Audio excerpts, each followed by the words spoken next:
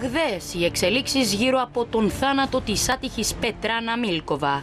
Υπόθεση ανθρωποκτονίας και πρόκλησης θανάτου από αμέλεια καταχώρησε η αστυνομία εναντίον του 27χρονου ιδιοκτήτη των Ροτβάιλερ. Το δικαστήριο διέταξε την κράτηση του 27χρονου μέχρι τη Δευτέρα 12 Μαρτίου για να αποφασίσει για την παραπομπή τους στο κακοδιοδικείο ή όχι και εάν θα κρατηθεί αυτή τη δίκη. Η υπόθεση φαίνεται να προσλαμβάνει νέες διαστάσεις καθώς νεκρός σκύλος ράτσας Ρότβαϊλερ εντοπίστηκε από πολίτη σε αγροτική περιοχή της Αναρίτας στην Πάφο.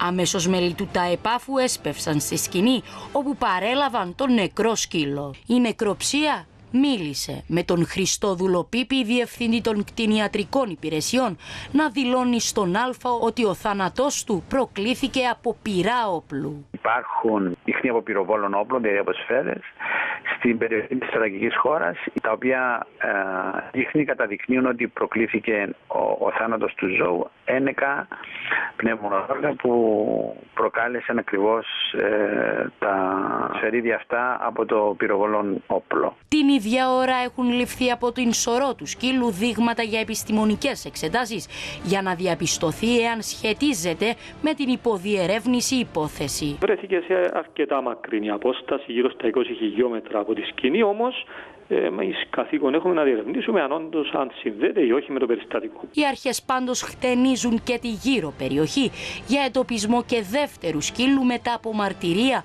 που υπάρχει ότι δύο από τα σκυλιά των υπόπτων θανατώθηκαν μετά τον εντοπισμό της Πετράνα Μίλκοβα. Την ίδια ώρα η αστυνομία αναζητά και όπλο το οποίο είναι εγγεγραμμένο στο όνομα του πατέρα.